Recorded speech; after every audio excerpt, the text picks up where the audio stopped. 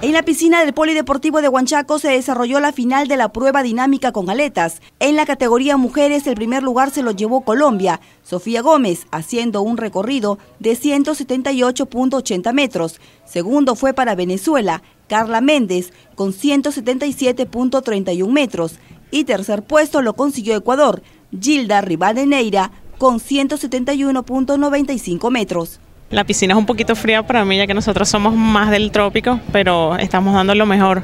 Y aquí Venezuela está más o menos fuerte con la acné tanto hombres como mujeres. ¿Qué te parecen los competidores? Eh, hay bastante nivel, me parece que todos los países han, han subido el nivel, inclusive Perú. En categoría varones se impusieron los venezolanos en los tres primeros lugares. Antonio de Luca logra primer puesto y estableció el segundo récord de esos segundos Juegos Bolivarianos con 221.24 metros. Segundo, Alejandro Guedes con 200 metros y tercero, Luis Arismendi con 189.95 metros. Participaban más de 60 campeonatos y bueno, la práctica a pesar de las canas prevalece sobre el entrenamiento físico.